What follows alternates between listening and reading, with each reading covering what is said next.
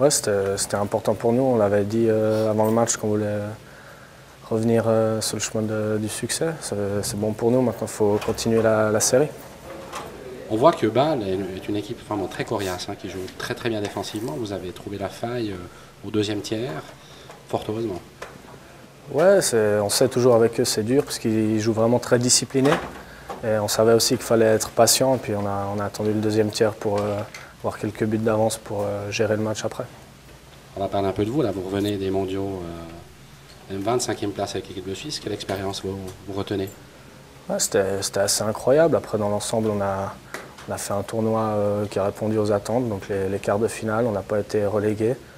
Donc, dans l'ensemble, euh, c'était assez, assez, incroyable, surtout en dehors de la glace. Et personnellement, ce soir, meilleur homme du match.